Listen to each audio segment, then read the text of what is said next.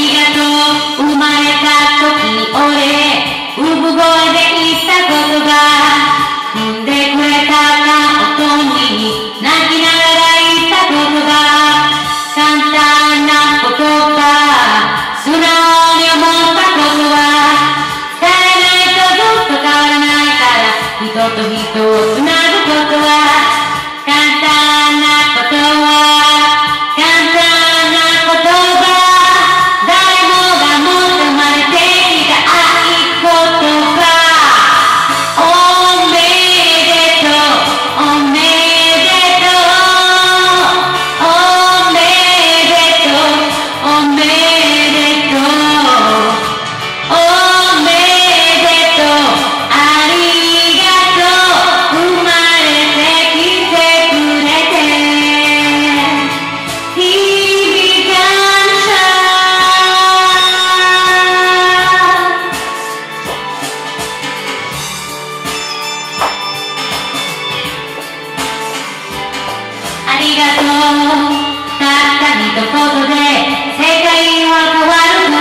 だ。いつだって信じてる言葉が持ってる力で世界が変わるから。限界なんかないから絶対諦めないから。と一票が俺はしかなれないんだから。